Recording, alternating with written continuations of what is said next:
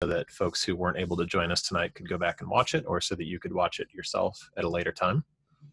Um, and one other thing, um, we do have a very quick intro survey that if you're able to, you can go ahead and take, and that just gives me and Sarah a bit more of an idea of who is uh, in the virtual room with us today as we're doing our presentation. This is one of the things that as we've done a bunch of presentations, we've learned that anything that we can do to kind of keep that human connection between us and the people that we're presenting to is really helpful. So this is one one of those kinds of tools. Um, if you're able to do that, that would be great. Um, and then one last thing, just to kind of get your minds prepared for this, uh, because of the way that our district has Google Classroom set up, um, we can't actually invite teachers from other districts into our into our uh, district created Google Classrooms. Uh, so I have another domain that I'm able to use.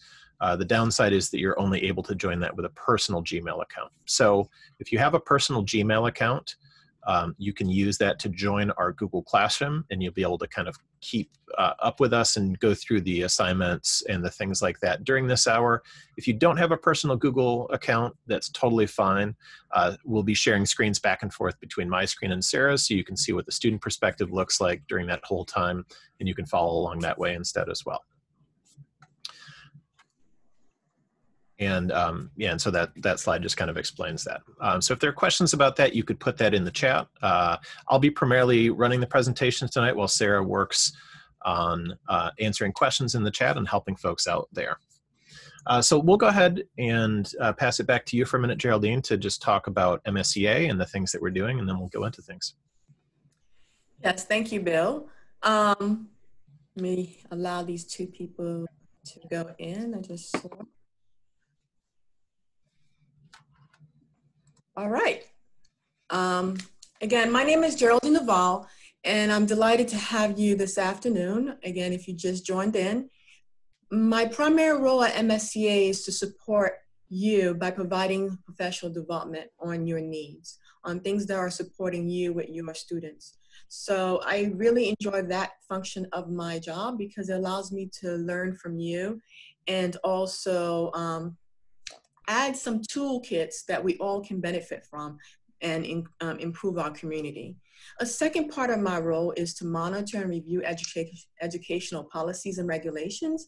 And by doing that, I'm better able to serve you and your students and also support you to make sure that the policies and regulations reflect what you need to be successful in the classroom or in your work site. So again, um, if you have any questions, my contact information is um, below. And this slide deck, as you have access to, will be available to you. So you can always reach back to me. Next slide. We're delighted to have this program. As you, um, if this is not your first MSEA webinar, we've been having these series for the last um, month and a half. And we've also been doing this with partnership with NEA and Michigan Education Association. And NEA's mission is to fulfill the promise of public education to prepare every educator to succeed in a diverse world this is becoming ever so more important, especially as we see what's going on in our nation today. So we hope that you will get some resources to support your students. Um, I know most of you guys are probably in the last few days of school if you're not finished because different counties have different end dates.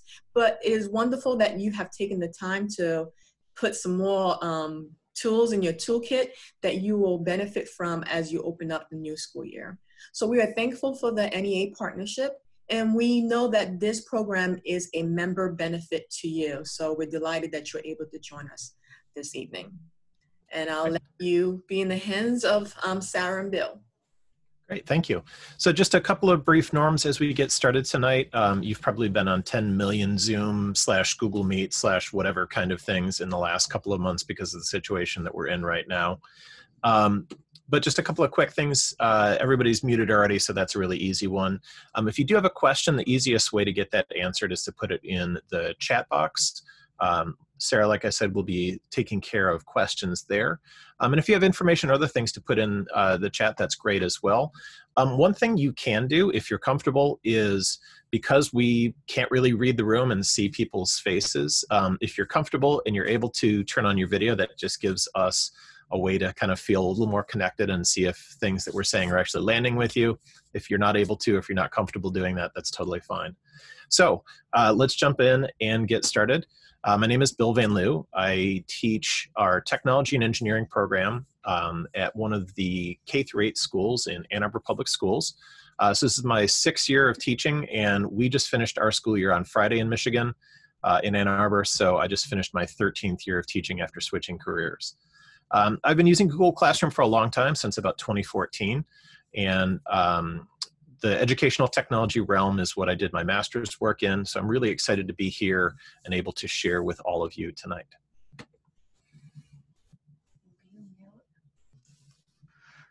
And I am Sarah Van Loo. I'm waiting for Bill. There we go. I'm Sarah Van Loo. Bill and I are husband and wife team. Will you please mute your microphone? Yep. Thank you. Okay. Um, Sorry, I'm just trying to get. okay, I got him. Bill and I are a husband and wife team. We're sitting next to each other, so when both of our mics are unmuted, I get a little feedback in my microphone, or in my headphones rather. Um, there is a bit.ly file. I'll share that in the chat momentarily. Again, I know if you're just coming into the room, you might not have seen that. Um, so I'm also a technology and engineering teacher. I, I'm a STEAM educator. I have a bachelor's degree in accounting information systems, and then I changed careers again also and got my teaching certification in visual arts education. So I have K through 12 experience, but the last several years I have been working working as a Project Lead the Way um, teacher uh, in our district, Ann Arbor, Michigan. And I work primarily with elementary school, but my master's degree is in educational technology also from Michigan State. And there's a picture of Bill and me in the first picture, and that's my um, teacher leader cohort that I was with at Michigan State. Um, I have um, I primarily work with Seesaw right now in elementary, but I have a lot of Google Classroom experience and I was an early adopter of Google Classroom as well. So I'm glad to be here with you and sharing with Bill. And we're really happy that you're all here. Great. So um, just a little bit of context before we jump into the kind of nuts and bolts of what Google Classroom is all about and how to use it as a really effective tool. Um, it's worth thinking about why we use the tools that we do. Um, and so that question of why Google Classroom um, has a number of answers. You know, one thing is that it is usable on a really wide range of devices. Um, I'm not sure what districts in Maryland did, but in Michigan, when we sort of it, like on a dime pivoted into remote learning as as covid-19 closed things down. Um, we worked you know our it department especially worked for the first couple weeks to get devices into kids hands. And even throughout the the time that we were doing remote learning that was a real concern in different buildings and in different households making sure students had devices. So one thing that's really nice about google classroom is that it's um, able to be used on a phone or tablet or a computer uh, chromebook of course and even some gaming systems um, and it's really well suited to be the hub of your classroom as the name implies um, that can be for things like assignments for announcements uh, for links to material as an archive place and so on. Um, and it's really scalable you know so the the sort of pitch for this session was that maybe you've started using google classroom a little bit and now you're ready to kind of take it to the next level and really dive into it. Um, that's one thing that's very nice about classroom is you can use just a little tiny bit of it and it's useful. Um, or you can really dive deep and go um, and make it your, your sort of full central hub. Um, so it starts off very scalable. And then one last thing that's really nice is that it's reusable um, and so uh, a couple of years ago, I built out Google Classroom sites for all of our middle school technology and engineering elective classes. I was able to reuse those year after year for my own practice, but also to share those with the other teachers who teach those courses and have those as a template and a resource for them to reuse year after year. Um, and so it's really it's really a, a, a, great place to kind of put all of that stuff. Um, another question that we found as we've been doing these sessions and presentations is why not just use things like Google Sheets or Google Forms or Google Docs and have students share those things with you? And there are places where you can absolutely do that. Um, but pretty quickly, it starts to get a little bit overwhelming having uh, students sharing multiple files with you all the time and kind of keeping on top of notifications and things like that. Um, Google Classroom really has a nice workflow that's built into it for assignments um, and and things like that. You know, we also get a lot of questions at times about using Google Forms instead of turning in assignments in Google Classroom. Um, you can certainly do that, especially if you want to do automatically graded things, and we'll show an example of how to use um, some automatically graded quizzes in Google Classroom. But Forms kind of runs out of power where, um, where Classroom is able to really allow you to give feedback very effectively, uh, to keep a nice trail of when students have turned things in and to give them credit um, for assignments for completing those things.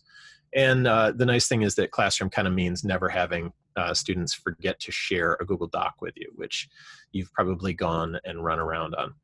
Um, we'll take just one second to, um, to pause and see if there are any immediate questions and also for me to take a quick look at that survey. If you didn't see that already, um, the link is in the chat there, but I'm going to take a quick look at that survey and just kind of see our responses and see just a little bit of who we are um, who we're working with tonight. Looks like only about six of you have responded, but that's okay. Looks like we've got a mix of elementary, middle school, and high school and um, looks like about half of those are in that introductory uh, spot that this session is aimed at, where you've used Google Classroom a little bit. Um, got a, at least one beginner, a couple of beginners, and an intermediate person. So, so that's great. I think the course content will fit right in there with you. Um, with what you want to do and what you want to learn. Um, at any time, of course, if you've got a question, please put that in the chat. We will go through a pretty, um, a pretty comprehensive look at Classroom and then we'll start to kind of peel some of those things back. And we're happy to stay for some questions afterwards. Uh, but we've only got an hour session, so we want to really be cognizant of our time and respectful of your time as well. So we're going to kind of dive right back in and and jump into things here. So this is the essentially the topics that we'll cover. We'll talk some about the stream. We'll talk some about using the classwork section of Classroom and a little bit about people and grades. But we thought that it would be really useful to think about this from our teacher perspective and think about it in a little more task oriented way. So in other words, what are the sort of common things that you might want to do and get a, and get accomplished with Google Classroom? So as we start to put this into practice, uh, we're going to be spending some time in Google Classroom itself. And if you just joined us, um, we do have one uh, one sort of quirk, which is that the school district that Sarah and I teach for doesn't allow teachers from outside our district to join our district Google Classrooms. So I've got a separate personal domain that I have Google Classroom set up on. The downside is that you won't be able to join our Google Classroom unless you use an individual uh, Gmail account. So in other words, if you have a school, if you have like Google Apps for Education for your school, you won't be able to join our Google Classroom with that account. But if you have a personal Gmail account, you will be able to join with that. If you don't have a personal Gmail account, it's totally okay because we'll flip back and forth between my screen and Sarah's so you can see the teacher and student perspectives both and follow along that way. Um, so either one of those things is fine. But just to kind of give you a quick alert of that, the, um, the class code, if you do have a personal Gmail account, uh, the class code is up on the screen there, and all you'll do is go to classroom.google.com, make sure that you're signed in with your personal Gmail account, and then go ahead and put in that class code, which Sarah has also put in the chat as well. I'll so I'm going to do it again in case there are new, any newcomers. And she'll do that again in just a second here. Uh, I am going to click away from this screen just so that I can get going, but you can always find that information, the, that class code in the um, in the chat. Normally in a classroom, when I'm adding students to my Google Classroom for the first time, I'll have that projected on the screen, and students will just go to classroom.google.com in their web browser and join with that class code. Um, but that should get you going there. And if you have questions, like I said, please put those in the chat. So I talked about that context of, um, of, of thinking about some common tasks that we do as teachers. And that's the way that we're kind of thinking through tonight's session. So there are a lot of things that you might do, whether you teach elementary, middle school, or high school, things like having students introduce themselves, uh, maybe having students uh, students watch a video and have a class discussion where everybody can respond to one another's perspectives and thoughts.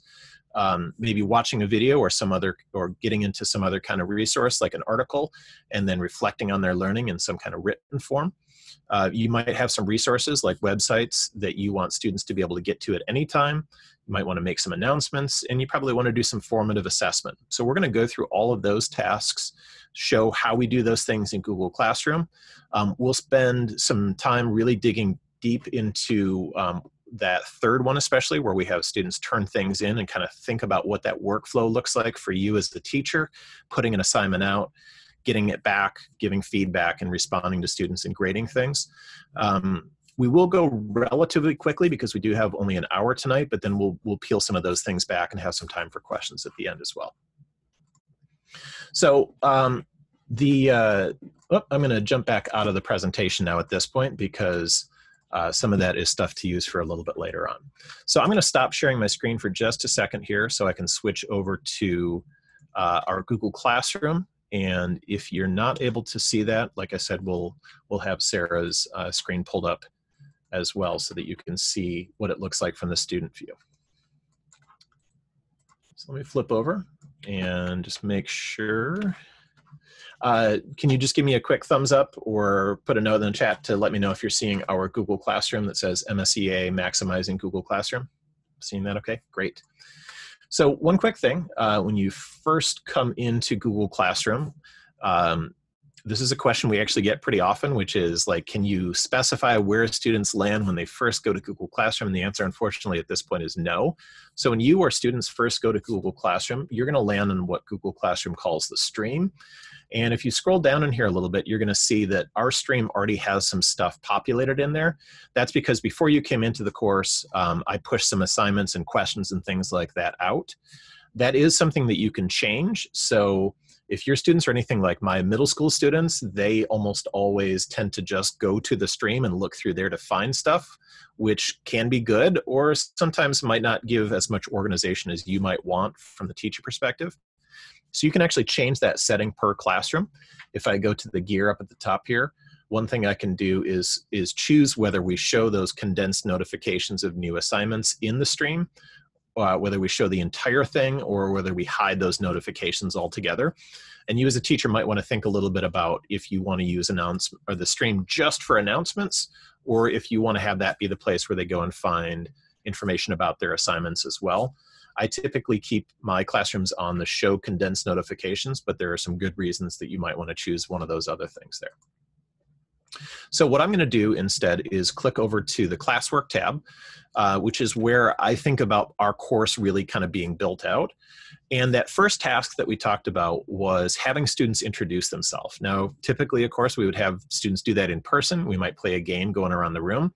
But if remote learning has showed us anything, we have to be ready to respond in different ways.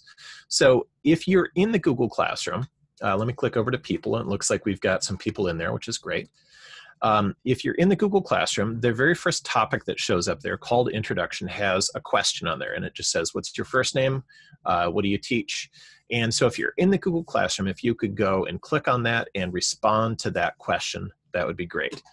Um, I'm seeing a question in the chat about the code not working, Tracy. Um, like I said, you you do have to use your individual uh, Gmail account, not a school Gmail account, unfortunately. Um, so if you're not able to do that, um, you'll just be able to follow along with us as we're showing it on our screen. But there's the, there's the code one more time.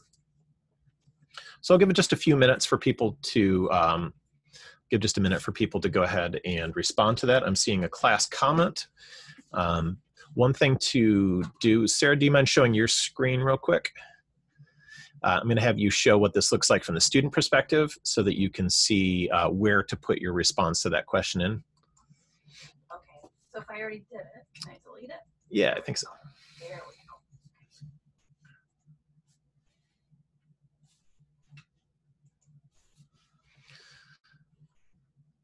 So we should be seeing on Sarah's screen right there, um, there are two things in Google Classroom. There are sort of two ways that you can, um, oops, there are two ways that you can um, that you can leave responses to a thing. Uh, yeah, if you click on View Assignment there, the um, yeah, the class comment is one way to do that, but that's actually leaving a, a comment on the assignment. It's not really responding to the question. So um, let's see. Someone Yeah, uh-huh. Yeah, no, it's not showing up correctly. I'm not sure why. Um, oh, you know what? Um, it's because of how I have this set up. Nope, that's just fine actually. So we're seeing we're seeing that show up. And Sarah, if you move up to Karen's post there, uh, yep. Um, no, that's not showing up either. I'm not sure why. We should be seeing a threaded discussion thing happening there, and it doesn't seem like that's happening. We're actually going to see this again in just a minute here, so this isn't super critical. Um, I'm going to have you stop sharing your screen, and I'll flip back over and start sharing mine again.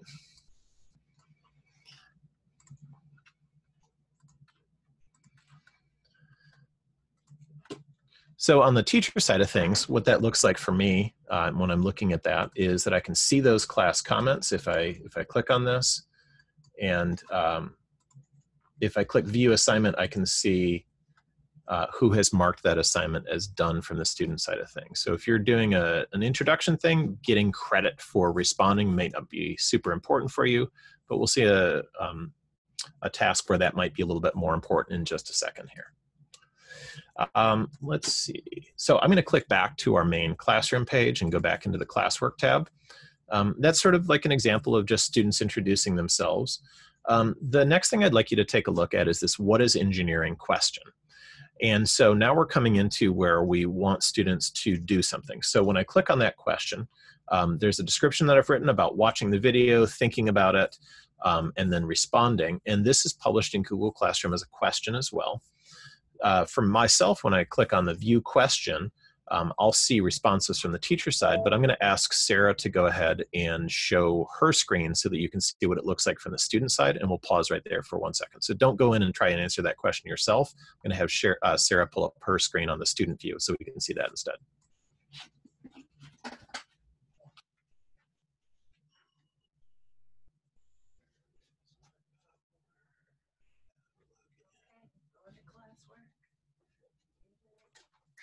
Okay, so I'm going over to classwork.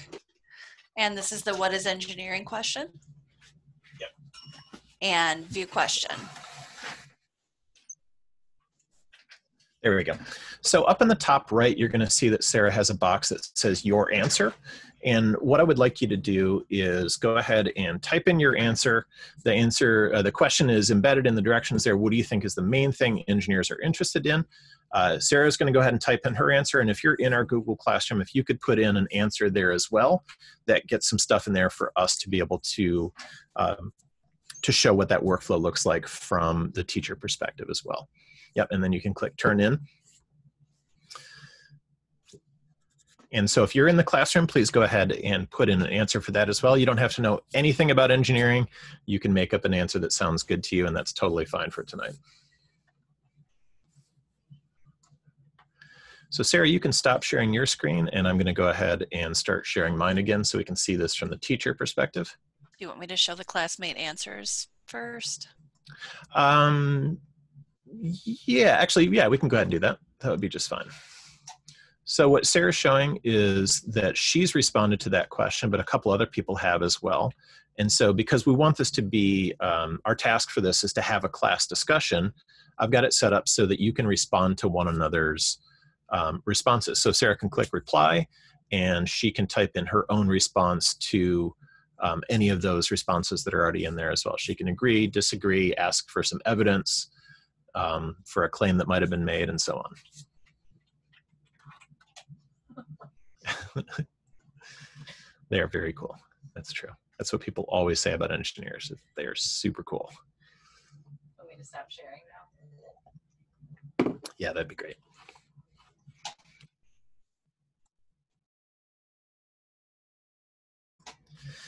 All right. So I'm going to go ahead and start sharing my screen again so you can see what it looks like from the teacher side of things.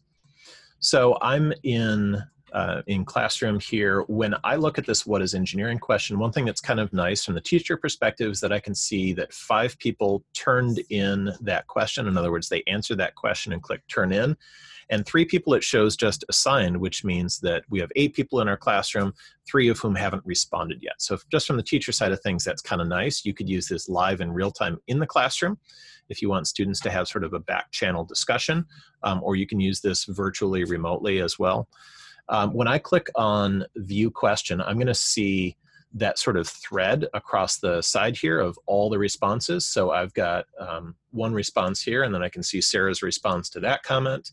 Um, I can jump in myself and uh, respond to a student's uh, response. Great answer.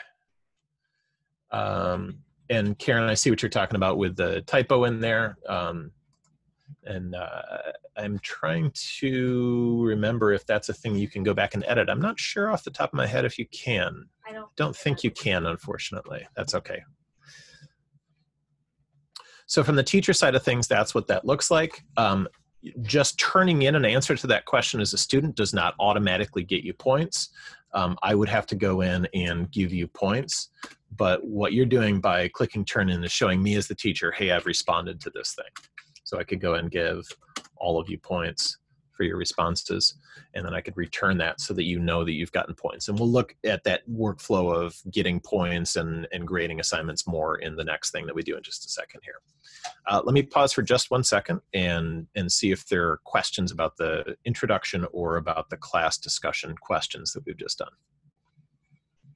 Uh, if you have questions, go ahead and put those in the chat. So far, we haven't got any in there. Okay. Cool. If you think of things when we go ahead, um, please put those in there. But again, because we have a relatively short time, I'm going to go ahead and move forward. So another really common thing in classroom is that we use an assignment. Um, and an assignment is a little bit different type of thing in, in classwork. Let me go ahead and click on that and show you uh, one of the differences there. So putting in a question gives students a place to respond and you can set it so that students can respond to each other or not. Um, if you set it to respond to each other, it really works well as a class discussion. Um, but if you just ask that question, that can be a great sort of lightweight formative um, assessment tool where you're asking one question and getting one response. You can think about it um, in lots of different ways.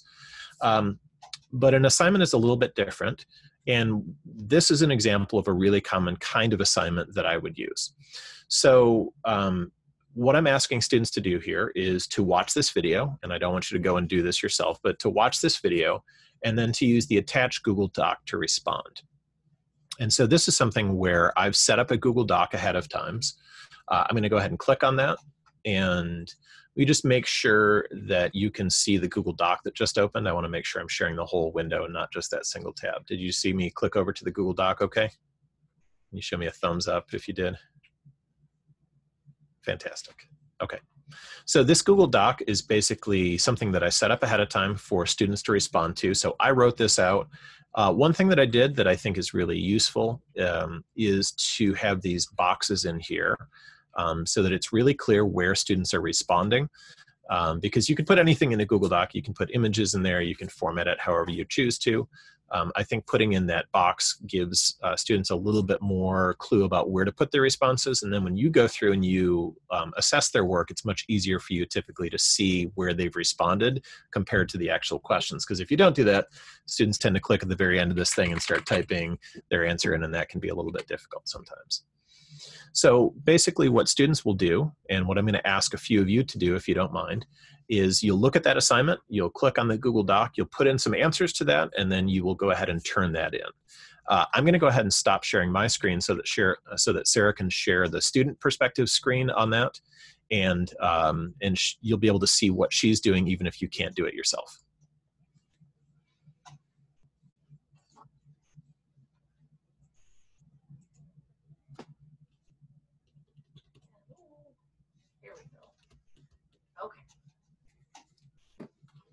What do you want me to share?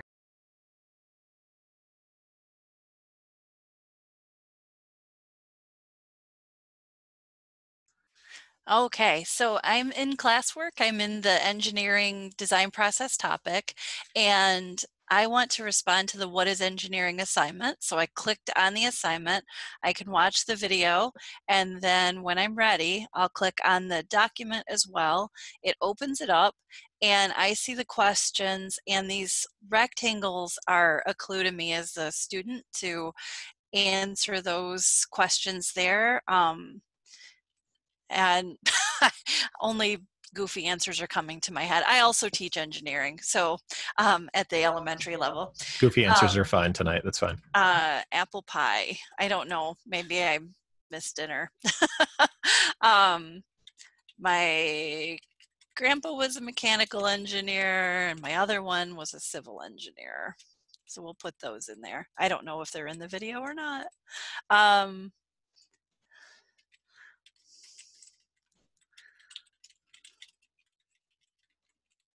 I don't know. okay, I had a question, and maybe you can show this when when we flip back. What if I forget to turn something in on the teacher side? You can turn it in for the student. So um, we're going to go ahead and just show the process of doing this the correct way right now, and then we can come back around to that. So Sarah's going to click back over to the classwork tab. She doesn't have to do anything else because Google Doc automatically uh, saves your work. Um, but when you come back to that classwork tab, one thing that you will need to do is to turn it in. So you'll need to click on the view assignment link at the very bottom there. And we know that Sarah's already opened that doc up and put in her answer. So all she has to do now is click turn in. And so if you're following along and you're in the Google Classroom, you can do that as well. Um, but I'm going to have Star- uh, Sarah stop sharing her screen and I'm going to share my screen again so you can see what this looks like on the teacher side of things. So from my perspective as the teacher, uh, I'm going to see Sarah's response come in and hopefully I'm going to see a few other ones as well. And what that looks like for me is I can see uh, two people, Sarah being one of them, have turned in this assignment so far. So I can click on the turned in there and it shows me just the two people that have uh, turned this in. And I see that I've got some more folks that are in the class but haven't turned the assignment in yet. They might be working on it or they might have just not gotten to it yet. And that's okay. So I'm going to click on Sarah's response. And when I do that, I can click on the actual Google Doc. This is one feature that I use uh, all the time in Google Classroom is to go through and grade a bunch of assignments where there are Google Docs or Google Sheets or things like that. Um, can't see the screen? Oh, hold on a second here. No, let's see. Hold on one second. Do, do, do. All right, can you see my screen okay now? Yes. Okay, great. Sorry about that.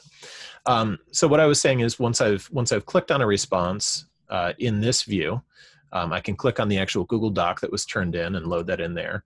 And this is a feature I use all the time in Classroom, which is going through and giving some responses to student work. Um, so in our district, we really strive for mastery learning, which means that we're probably not just looking for yes, no, correct, incorrect kind of answers or just giving points and moving on. Um, I really want to engage in dialogue with my students and give them some feedback so that they can use that to increase their learning or go back and check things they might have missed. So um, I don't know that engineers are mainly interested in apple pie. So this would be a good example of me thinking about how a student might get this answer a little bit better. So a few ways that I can give responses and feedback to a student here. One thing that I can do is go in and make a comment in that Google Doc because the way that the um, workflow works for Classroom is that um, for this assignment, I made a copy, I had it make a copy of this Google Doc for every student. So you notice that um, that Sarah's is uh, called Sarah Van Loo at the beginning here. And if you notice when you open yours up, yours has your first and last name at the beginning of that doc because Google Classroom made a copy of that doc for each person when the assignment went out. So I'm able to look at that and um, and once she's turned it in, I actually have ownership of that document temporarily. So you might have noticed for just that split second when she flipped over to the Google uh, Docs window on her own view that it said you don't have access to edit this anymore. That's because now, as the teacher, I now have access to that because she's turned in that assignment. So I can go in and do just anything else I might want to do in a Google Doc. But the most important thing at this point is to leave a comment. So in the Google uh, Doc itself, I could leave a comment specifically about this thing. So I've got this highlighted, and I'm going to go ahead and type in a comment. I'm not sure that's the thing engineers are most interested in. Take a closer look at 1 minute 30 seconds in the video. Then revise your answer. So I'm putting this directly in as a comment in the Google Doc. Um, Another thing that I can do to leave some feedback is that I could add a private comment. So only the student that turned this in is going to see that comment. Um, you saw some class comments earlier, but this is different. This is just teacher to student one to one. Um, and I'm going to say, looks good overall, but please see my comment on question one. Revise, then resubmit. So when I post that question or when I post that private comment, that student will get a notification there um, on their email that some that I've left a private comment on their assignment, and um, they Sarah unfortunately won't be able to do anything with this yet until I click that return button. So I'm going to click return, and that's going to show back up. We're going to see her screen from the student perspective in just a second here. Um, but let's take a look in this dropdown and see if there are some other people who also turn that in. So this is a, a, one way that you can move through assignments is to click on that dropdown and it will show you whether students have turned that in or whether it's still just assigned to them. You can also use these back and forth arrows. Um, let's see, cool. Let's, let's pretend that this assignment was all the way filled out and looks great. Um, I can go ahead and give that student 100 points and leave them a private comment. Great job and they're going to see that um, private comment right away, but they won't see their score that I gave them until I click return. So I'm going to click return for that student, and now they're going to see that show up. So I'm going to stop sharing from the teacher side and have Sarah, uh, Sarah share from the student side so that she can see what that looks like to get that feedback um, on an assignment. Okay. Oh, I'm muted. I'm not muted. here I am on the student side and this, it, I've just been kind of sitting at this screen while Bill's been showing this to you on the other screen, but I watched as he was returning the work that the comment popped right up on my screen. And so students would see that and they get an email too, right? Yeah. So your student will get that notification back from you. And then I can um, click on this and edit it again and I could change my answer here and again once I'm finished it's keeping track of my work in real time and then I can go back and turn it in again when um, when I'm finished and are, do you want me to actually do that Bill? Okay. All right. So, like I was saying, that's really um, that's something that I use a lot in my own workflow as a teacher. Is having students turn a thing in, me kind of evaluating it, giving some feedback on that, and then thinking about um, whether that is good enough, whether they missed something, whether there's something they need to revise, or whether they just did the assignment as as necessary and and got the points for that. Um, so that's a really that's a really common kind of piece of our workflow here. Uh, Sarah, can you go ahead and stop sharing your screen and I'll start sharing mine again. Cool. So we've seen uh, we've seen a few things right now so far. We've seen um, using a class question as an introduction. We've seen using a class question as a discussion prompt, and now we've seen a really common version of using an assignment there. Uh, a couple other things that we might do very frequently in Google Classroom is we might want to post some resources for students um, that they can get access to whenever. They might not need it for a specific assignment. There might not be a thing they have to do. But again, because Classroom is kind of our hub for, um, for all of our stuff for our class, this is a nice place to post that. So down here at the bottom, I've got a topic called resources, and these are posted in what Google Classroom calls material. And material can be all kinds of things. It could be a um, it could be a, uh, a website, it could be a Google Doc with uh, directions or information that they might need. Um, right here, I've got a video that I link to. You can you can type stuff in there. You can add video links and things like that. Um, this is just a link to a website that they might want to go to. Maybe this is like you finished your assignment and this is choice time. So you want to go off to a list of acceptable websites. You could uh, materials and would be a great way to to put that list out to people. Um, let me pop over to our outline for just one second to make sure that I'm staying on track. This would be a great time if you have questions to put those things into the chat.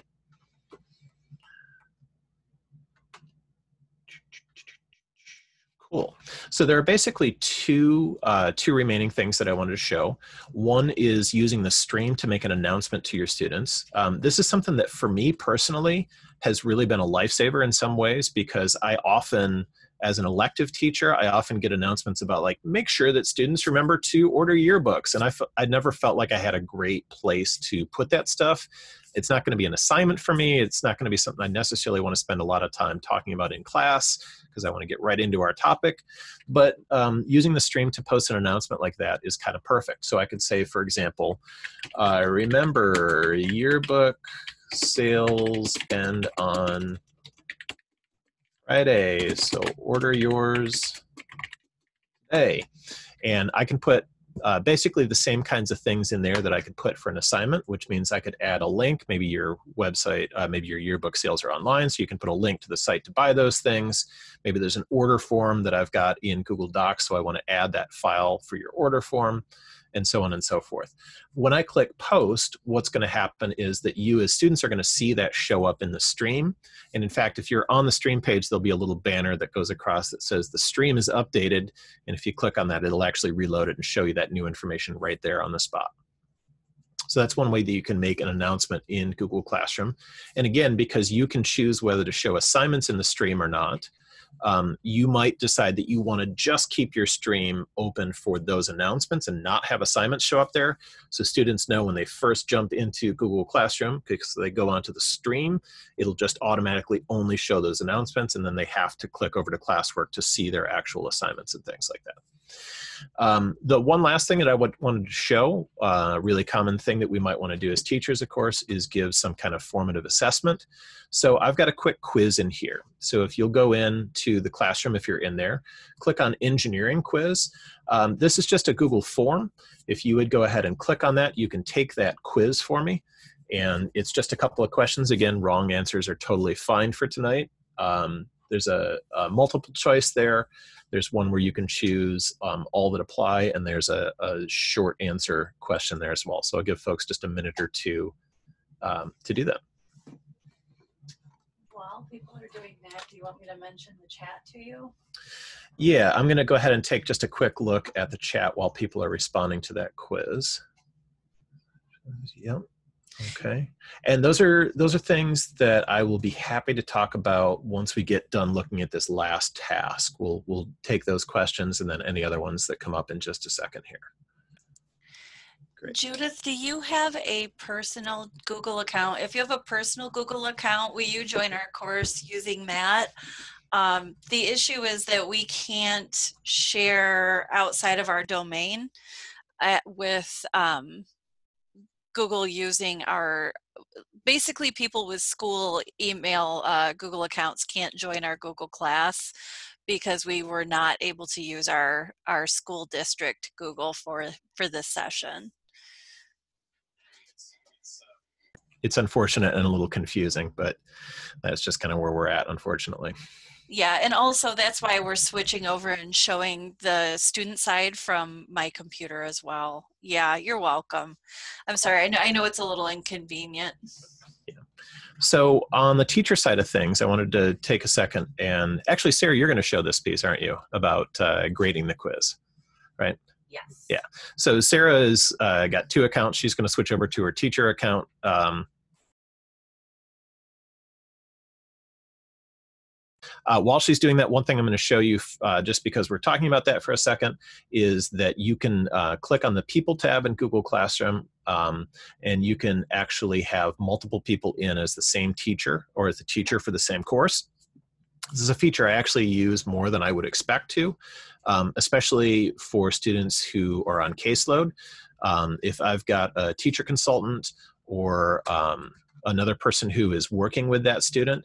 Um, adding them as a co-teacher doesn't really give them anything they have to do, but it allows them to really easily be in the loop, so to speak, on all the assignments that that student that might be on their caseload is working through. Um, if I'm co-teaching with another teacher, uh, this can be a great thing. We did this a lot during our distance learning time. And then of course I can also see all the students here. So Sarah's in as a teacher. I'm gonna stop sharing so that she can share her screen and show what it looks like to grade one of those quizzes um, like we just did for the engineering quiz there. Okay. unmute. Okay, so I I am in. Can you hear me? I'm struggling with this mute unmute thing tonight. Uh, okay, I I am signed into Google Classroom as Bill's co-teacher, and the What is Engineering quiz right here. Um, from this perspective, I can click on it here and when I do that, I can click on the pencil so that I can see the responses and I can, okay, I got it. I can click on the responses and you can look at this a couple of different ways. So I can see this information uh, uh, in a summary format, but what I'm interested in in particular, also I want to point out that you can look at an individual student's responses. But I want to look at the questions because I know that my um, form is automatically grading question number one and question number two.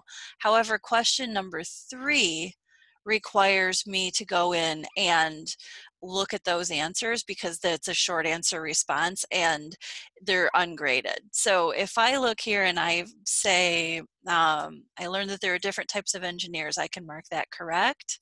And it's nice, it's not even showing me student names, so I can, um, I learned what how little I learned. So I can mark those correct. Um, Apple is the best pie. Um, but that wasn't in the video, so I'll mark that one incorrect. And then, um, so I can just basically go through and one at a time, I can continue marking these correct or incorrect. And when I'm finished, I can save that and it automatically updates the students' responses, or rather the, the students' grades on that Google form. And then I um, basically that's it. So it's now saved my responses and I can keep moving on. You want me to stop sharing again, Bill? Okay.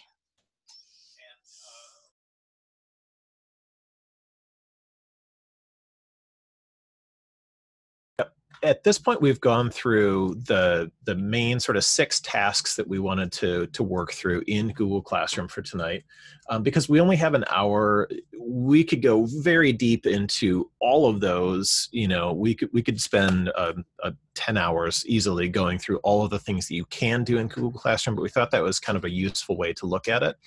Um, I did see that there were some questions from the chat though, so I want to come back to those for just a minute and then um, touch on maybe one or two other topics that I think are really important. And then we're happy to stay for a little bit after our session officially ends for tonight if there are more questions. So um, let's see. So um, John is asking about using Google Classroom with primary students. Is there a way for students to see comments and grades when assignments are returned? So this is one weak point of Google Classroom. Uh, Classroom has what it calls guardian summaries. So if we were in with our school accounts, we could show you that, but because it's on a private account, we, we can't really do that. Um, but a guardian summary basically means that a parent has signed up to be a, to be linked to their student's account and they will see a guardian summary which is basically just an email if you've set due dates for your assignments parents will see if an assignment is is uh, late or missing for example um, but unfortunately, parents don't have a way to see grades or comments directly from Google Classroom. There's no way to, to really do that, unfortunately. And as a parent of a, uh, two high schoolers, one who whom just graduated, we've found that frustrating at times, um, but that is a limitation of Google Classroom. Um, can you copy courses if you teach multiple sections? Karen asks. Yes, you absolutely can, and that's one of my very favorite things about Classroom. So, for example, when I was setting up um, all of the template classes for our engineering teachers for middle school in our district. That's something that I did. I made a classroom and then we actually were able to just make copies of that classroom. So I'll show you how to do that actually. Um, I'm in Google Classroom. Can you see my screen okay here? Am I sharing? Okay, so I'm going to click on the three lines menu at the top here, and I'm going to go to classes. So as a teacher here now, we've presented this a couple of times for a few different EAs. And so we've got two of those, one from PSEA and one for tonight. If I wanted to make a copy of this classroom, I can literally just click on the three dots and click copy. It will make a copy of all the assignments, all the announcements, all of everything, basically everything except for student work and people. So what that means is, let's say that I teach a third hour engineering class and a fifth hour engineering class. Um, I can go ahead and set up one classroom and if you're one of those people who works ahead and you plan a bunch of stuff out you plan a couple of units of instruction and you want to have that ready for both of those things you can build that out in one and then make a copy of that and it will copy it into that second one as well those two aren't linked then but another thing that you can do that's a really powerful feature of classroom that again i use all the time is this idea of reusing things so in Google Classroom, if I've made an announcement in my first hour class and I want to make that same exact announcement in my third and fourth and fifth hour classes, on the stream here, I can click this little this little button to the side here, which looks like a reload one, um, and that's to reuse something. So I can click on this, I can click reuse, and it'll give me the ability to edit that and to customize it, and I can customize that for tonight's session, and then click post. Um, I can do that exact same thing with assignments in the classwork tab. So if I go up to the top, we didn't really touch much on creating things because of our time limitations. But in addition to creating assignments and quizzes and things like that from scratch, another thing I can do is reuse a post. So I could go back in here and I could say, well, you know what? I really liked that uh, what is engineering assignment, but I'm going to make a am uh, going to make a uh, what is technology assignment and maybe I want to get rid of that first YouTube video and I want to grab a different video from YouTube and so on. And once I'm comfortable with that, I can click assign. And so it does mo it takes most of the work out of making that new assignment if it's very similar to another one there. So will you show how you attach a document and enable it to make a copy for every student? Yeah, give That's me. Let's see. Give me one sec. Okay, so I'm going to knock off a couple really quick ones here in the chat. Um, so organizing content in Google Classroom is something that often comes up. Classroom has uh, what it calls topics. We might think about as units of instruction or um, or weeks. We've done that both ways. During distance learning, we did a, a topic per week, so it was very easy for students and families to just see as we're going through our continuity of learning plan which week they're on in in the classroom i would tend to probably organize that more as units of instruction. But in classroom in the classwork tab when i click the create button there uh, the option at the very bottom is called topic. So i could say uh, let's call this uh, 3d design as a as a new topic. Um, it won't show assignments or it won't show topics that don't have a published post. So because uh, I don't have anything in that topic yet that's published for students. They won't see that there. So you can use that as a way to kind of outline and start to get your course built out before you have everything in there. You can make all the topics that you want. And if I click and hold on this, I can drag it around as well. And that shows that reorganization, not just in my view, but on the student's view as well. Um, let's see. Do you add your roster to enable individual copies of docs for learners? So um, whoever is a, whoever is in the Google Classroom as a student, it will automatically make a copy of that assignment for everyone.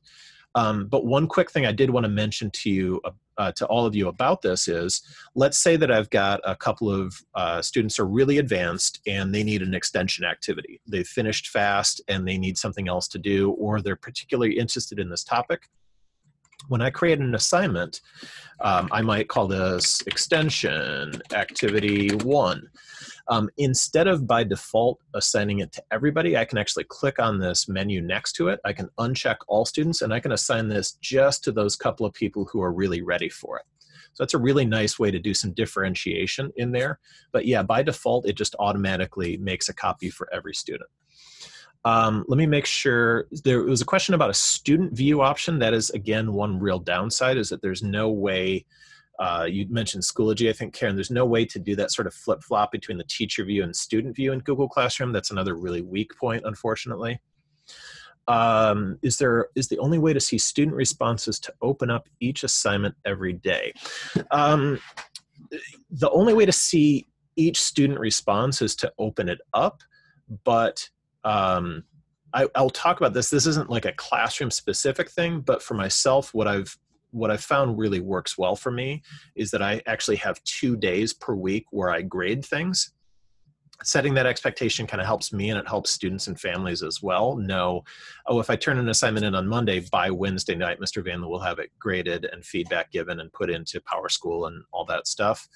Um, I, th- I think that answers your question. If it doesn't, please, by all means, put a clarifying question in there. tab?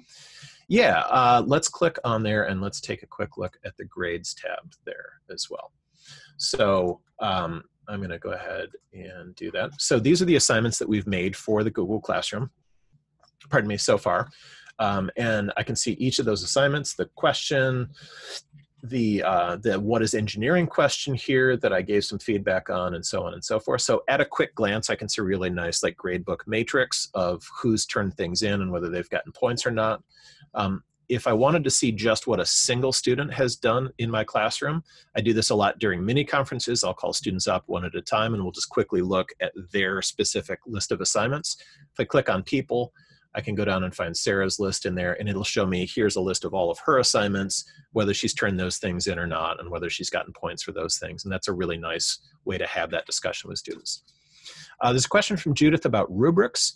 Uh, rubrics at this point, if I remember correctly, are not an official Google Classroom feature, but there is a beta. It's a little weird because it's been in beta for like a year. I actually got signed up for this beta like a year ago.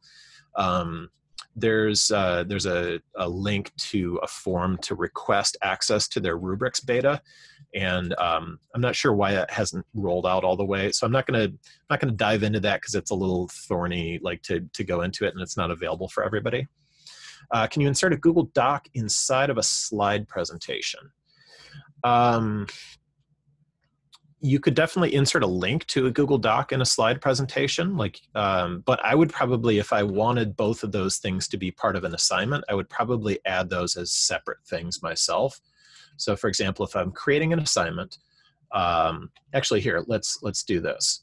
I've got a part two assignment that we didn't look at at all. So, there's a uh, this one you didn't see if you were in the student view of the Google Classroom because I've left this as a draft. That's a tool that I use all the time as a teacher is that I'll make an assignment, but I'll save it instead of publishing it so that I've got access to it to still tweak it and whatever and so that students don't see it showing right up away uh, showing up right away. When as a teacher though when i click on this i can edit this assignment and i've got a bunch of options here. So this is an assignment that has both uh, slides and a google doc in here so there's a um, there's a set of questions in here in the Google Doc, but then there's also a presentation template that I made. Oh. And one thing that I would want to do before I push this out to students is change this to make a copy for each student. If I didn't, students would be able to see that doc or that slides presentation, but they wouldn't be able to edit it themselves without making a copy. But Classroom will do that for them automatically. Bill? Yeah. Quick note on the time at six thirty, we should Oh, probably. it we can is. Stay on, but Yeah. we should point out the survey and slide twenty-eight. Yeah. Yep. So um, we are going to go ahead and jump back over to where's my sharing option? There we go. Uh, we're going to go ahead and jump back over to our presentation for a second because unfortunately we are right at 6:30, but we are happy to stay on for a little while after that. Uh, we're going to one thing before I flip to the very end there is all of those tasks that we went through tonight. Um, I uh, I didn't go to those right away because I wanted to walk you through those, but those are all uh, I've made sort of a little cheat sheet in those couple of slides there. Like this is the thing you want to do, and so here's how you do it. You would go into classwork and put it in as a question. If I wanted to have students uh, watch a video and reflect, I could do that in classwork assignments and so on. Um, but we're going to go ahead and flip over to the very end. Uh, Geraldine, is this where you needed us to be? The exit ticket? Yes. Okay. Thank you again. As I told you, you would be in great hands with um, Bill and Sarah um, this evening. So hopefully, again, you got some great tools. And as you can see, they left you with additional slides with resources that you can click on to, um, again, go in, peruse, and kind of play around and improve your skill set and enhance it to support your students. But the most important thing we want you to do is to complete that exit ticket. Just like a great teacher, we want to get feedback from you so we know how to um, use the resources to support you better and meet your needs. So we're asking you to complete this Google form. Again, very important that you do that. Again, um, we will put it on the chat box. Again, the chat box, you cannot click directly on that link when it's on there. You'll have to copy it and paste it into your browser. But again, um, that is the exit ticket we would like you to complete right now. Great. And um, because that's going to show up in the in the chat box in just one second, I'm going to click back because there are a couple of things that I want to just make sure that you see. Or Geraldine, do you need to talk about this? Yes, I do. Okay, go right ahead. Okay. Um, we have three following series that are going to occur. Um, we call them session one, two, and three. They are not prerequisites for each other, so you can att um, attend whichever one meets your need. Again, it's next week again, June 24th. You will be receiving a new registration link. So if you registered for this, we apologize, but we're going to ask you to re-register because it looks like you guys are liking the meeting format versus the webinar style. So we're going to ask you to re-register for that session. Um, you'll get information following um, our session by the end of this week. So please look out for that. Next slide. That second link, um, if you can go ahead and click it. Uh, do you want the link, did you say? The second one, if you can go ahead and click it. Thank you. Yep. This will take you to the MSEA page. As you see, it shows you upcoming webinars. And if you scroll down, it will um, push you down to the ones that are archived. So keep scrolling. And you'll see all the ones that we previously held. And following the summary of these presentations, you will see how to access any of the webinar materials or link if you miss any of our sessions. So again, this is how you'll be able to access any of the things that we've done so far. You can go back to your PowerPoint. Um, as um, I transition you back to Bill there, um, this, they will gladly say they will take a few more questions. We want to thank them again for the wonderful presentation to add a little bit more to your Google Classroom Toolkit. So again, thank you again for um, presenting for us this evening, um, Bill and Sarah. Again, part of the MSEA's mission is to support your professional development and give you tools to support your students. So again, this is a member benefit to you. We thank you for being an MSEA member. You have Bill and Sarah's contact information and I'll let them wrap up our session. Yeah, great. Thanks so much. We're so happy to have uh, been able to be here and be a resource for other educators. We're both proud union members here in Michigan, so we're happy to be able to support other folks across the country working hard for students every day. So we've got our contact information there as the very last slide here in our presentation. Uh, we're both pretty active on Twitter and other things as well. Um, there were a couple of quick things I wanted to point out uh, in here that um, that we wanted to put in there because we only had an hour. There's obviously a ton of additional stuff we could have gone through. Um, in Michigan, John Sowash is one of our Google experts. He runs the Michigan Google Conference, and he has a really comprehensive set of videos on his YouTube channel about using Google Classroom. So if there's a topic that we just sort of touched on tonight that you want to dive deeper into, his videos are a really great resource to go and find out more about a specific topic, to spend five or 10 minutes learning more about how to do something in assignments or with a rubric or things like that. Um, I made a playlist of what I think of as kind of his essential Google Classroom videos to like really kind of take your stuff to the next level. Um, but his whole YouTube channel is great, and he's an expert on all things Google. So if you've got a slides or sheets or whatever kind of question, um, he's great. If you're running into issues, like we've had some people throw out some really strange things where we couldn't answer those questions, there's some Google Classroom support that's available through Google. There's a, a help section that they've made, and there's also a community where you can ask questions. And then finally, we know that oftentimes forms gets a lot of questions as people are using those for quizzes and surveys and things like that. So Sarah's organized some uh, information that's more specifically about Google Forms um, on this page in the slideshow as well. So um, let's see. Well, if you go back to the survey, there were some specific questions about Google Classroom that got us started. Go back to the oh yeah, go back to the survey. Yeah, for sure. And Give me just one second. Really quickly, I'm going to address a question that somebody asked about kindergarten. If you're posting something like a book uh, read aloud, um, the question was whether to post it as an assignment or a material.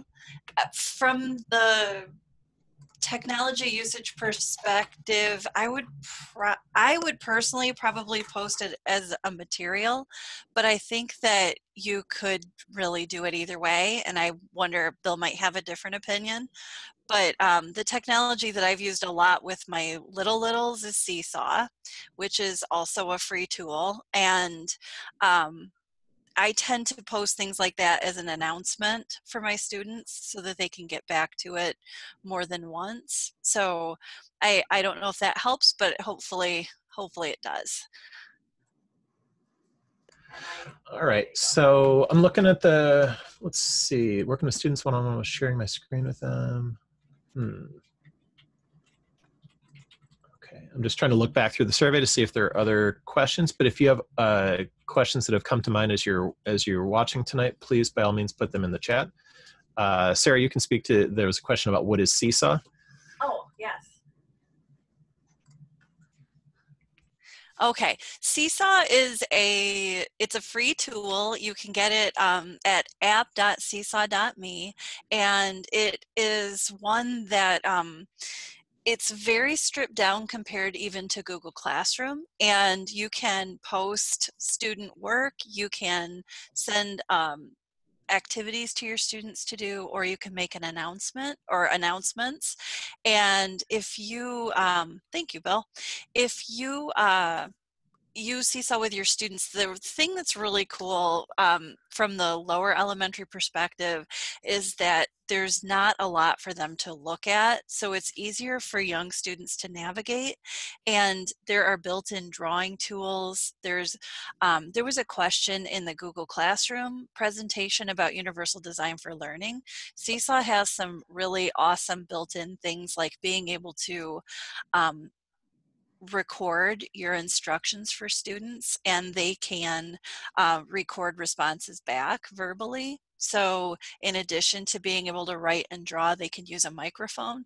So it, it lets them work eh, in a lot of different like modes so that it, it makes it really accessible for students and it has really great parent communication if you depending on the settings in seesaw parents can see everything that their student does where google classroom does have a nice um, summary depending on again that's a, a, thing that we've noticed that if certain teachers have their settings different in google classroom we see more or less on the parent side. But seesaw is just it's um it's a really friendly format for students. And if you're interested in seesaw I would encourage you to check out their free PD. Um, they have a site called PD in your PJs, and I'll post a link there too. I don't want to overwhelm you with too much here in our Google Classroom chat, but And if you, particularly if you teach K through two, I think you might really like Seesaw. the great thing, um, Sarah and Bill, we have a session for them. So if you look again and you can go register for that session, we'll, we'll have one July 1st. So again, um, that link that we shared with all the upcoming workshops, if you're interested in diving into Seesaw, you can join us on July 1st. So Great. Yeah. that- Perfect. I think you'll love it. And if you're already registered, we will be sending a new link just so that we can change platforms to make it more interactive for you. Cool. And uh, I'm noticing in the chat, Tracy, thank you for reminding me about your question about turning in an assignment for the student. That's not quite how it works, but it accomplishes the same thing. Let me go ahead and share my screen for a second and show you what I mean. Um, so on the teacher view, if I go into an assignment, um, this happens all the time with my middle schoolers, especially my sixth graders who are like just getting their heads around this whole thing. They'll do the thing and then they forget to actually click turn in. So, um, so they're like, I did the assignment and it still just shows assigned instead of turned in. One thing that's really nice in the what is in, in, in the assignment view in Classroom uh, if I click view assignment on the teacher side of things, I can see everybody who is who has specifically gone in and submitted, turned in that assignment, but I can actually see everybody as well here. Um, and because it's made a copy of the assignment for everyone, um, even if they didn't turn it in, I can still click in there and see what they've put in there, right? So maybe they filled everything out and they just forgot to click turn in. uh, like Dominique did here, this looks great. I can still go ahead and give them, I can give them a score and I can give them a feedback. Looks great. And they don't ever have to have clicked that turn in. I can still go in and see their work and and give them credit for that and respond to that as well. Um, yeah. Uh, Tracy, hope that answered your question. If it didn't, just let me know in the chat and I'll be happy to uh, to come back around to that some more. Um, any other questions that people have that are still hanging out? We're happy to stay for a little bit here. Yeah, it felt like the time went by in about five minutes for us too. That could have been the giant cup of coffee that I had right before we started this, but.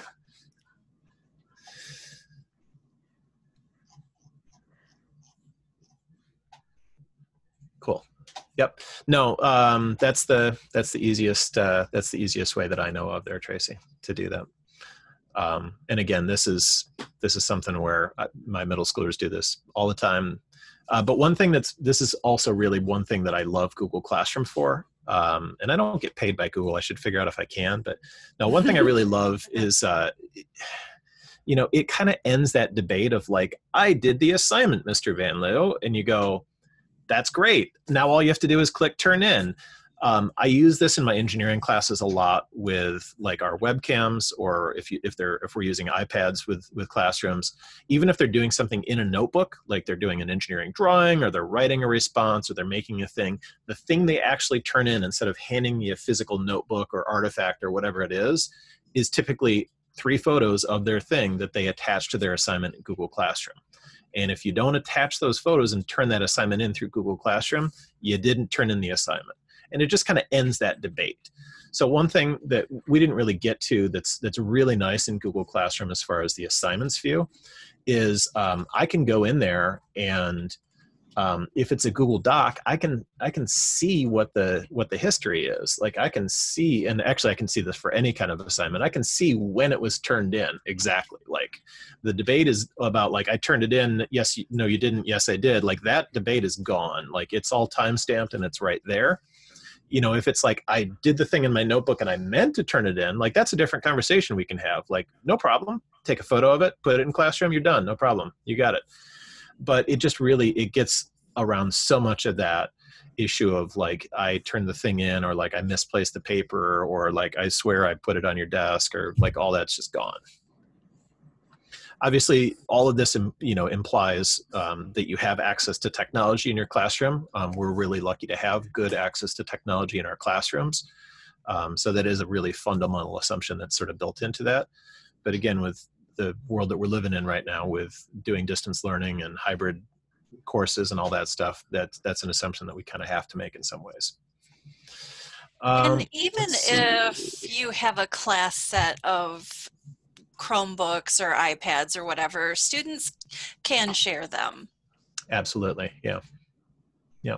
I'm just scrolling back through to make sure if there are questions. Slideshow uh, is available right now. Uh, sarah do you mind putting the link? Yeah we, there's just a bitly link to the slideshow that we used tonight and so we'll put that in the chat.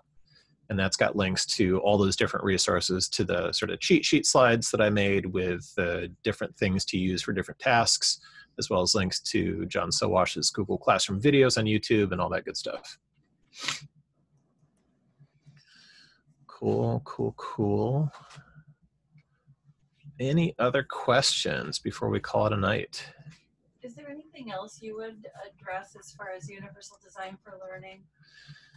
Uh, other questions as far as universal design for learning? Like that was a question yeah. in the initial survey. Yeah. Um, is the person who asked that question still here? Because I would love to get more input about what specific things. I can I can think of a few off the top of my head, but I want to make sure I'm addressing the question well. If that was you, do you mind unmuting or putting it in the chat? Hi, yes. Um, I had a question. I like um, for students who are just learning English and are mm-hmm. just trying to navigate, um, you know, using using a laptop because I teach um, four year olds, four and five year olds. Oh, and so okay. just making sure that they, okay, so basically, let's say I've um, clicked an assignment. I'm sorry, I've created an assignment where the students have to drop and drag pictures to complete a sentence. I Mhm. think that they're having trouble just understanding what I'm asking them to do, and I want to make sure that I'm using like are there visual cues that I could leave for the students to direct them, like how to actually select the picture, drop it and drag it to complete a sentence, um, just to make sure I'm providing the most structure that I can for them as they're learning English. Gotcha. I think Sarah's got a good answer for you. Okay, thank you. Is using Google Classroom a requirement of your district or your school? Or is No. that a, t- I would really highly encourage you to look at Seesaw. now, I love Google Yeah. Classroom for our old, like third grade and up, I think it's great. Um, pre-K through two, I highly encourage you to look at Seesaw. Um, Seesaw has it, it. The interface is a lot easier for our youngest students to use, and it also translates. Oh. Um, so if you write an assignment, if you put in instructions, if you send an announcement to families, it automatically translates to the student's home computer language. That is not what I meant to say. The home language setting on the student's computer. Okay. okay. So we teach in a university town. We have students from literally hundreds of countries that are at the University of Michigan in our district. Um, and their children come to our schools. And so university towns tend to be very, um, very diverse. And I have a pocket of Hispanic students and Spanish speakers from all over the world in one school, and then students that a lot of students speak Arabic um, in another school, and, and that's just two of a hundred languages. And Seesaw will translate um, for you. So you don't have to do anything. You write your instructions in English. When your student opens that up at home, it translates to their home language, which can make it a lot, a lot easier. Oh yes, I see Judith is looking at talk the Seesaw webinar. Um, Google Classroom and Seesaw actually can be used together also if if you decide that you want to use Google Classroom, but I really would encourage you to check out Seesaw for your four-year-olds and five-year-olds. And because of the Okay, thank you. translation, you're welcome. Yeah, I would agree. That's a, it's definitely a more developmentally appropriate tool, especially for your context. I think. I think that'd be a really good tool. Okay, Thank you. Yeah, absolutely. Well, um, we are at that time, and I want to um, thank you again for um, Bill and Sarah for helping us navigate through this wonderful presentation.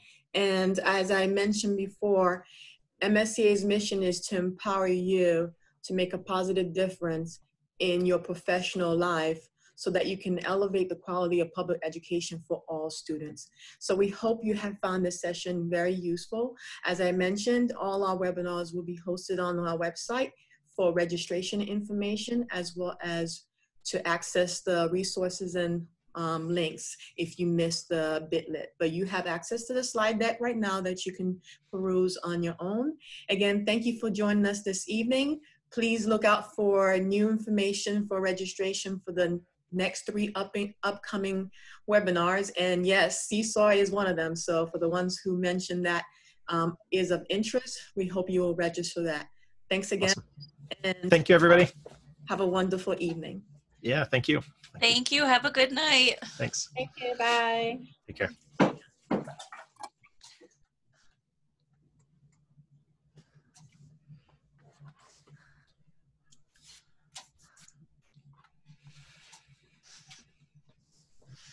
Oh, there's a raised hand. I don't know if that's a